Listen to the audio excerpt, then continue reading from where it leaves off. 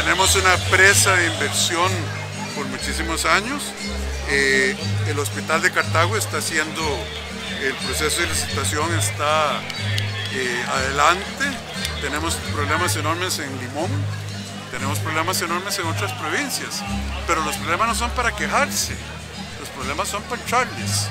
Que no se puede resolver de la noche a la mañana lo que ha tenido abandono de décadas, sí, pero yo creo que estamos en una nueva era y lo que me llena de satisfacción, por ejemplo, hoy firmamos decretos que dicen que una persona que quiere traspasar y comprar una casita puede negociar con el abogado y ya, ya no hay una tabla de costos notariales. Imagínense lo que significa eso para una persona que se compre una casita por primera vez. Poder negociar y decir, no señor, no es tanto por ciento, yo le quiero ofrecer tanto, si no se ponen de acuerdo va a donde otro notario. Ese es el espíritu de los costarricenses, la competencia, la igualdad ante la ley. Entonces yo estoy contento.